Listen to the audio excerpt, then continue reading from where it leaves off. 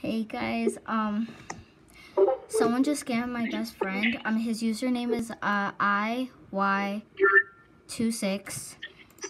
Um, so basically what happened was, um, my friend gave one min minion chicken egg, um, and he was told that, um, this one IY guy was going to, um, give Fly Ride Kangaroo, three Aussie eggs, one ocean egg, and two fossil eggs. But obviously it was a scam. So everybody report this guy for scamming. Bye guys.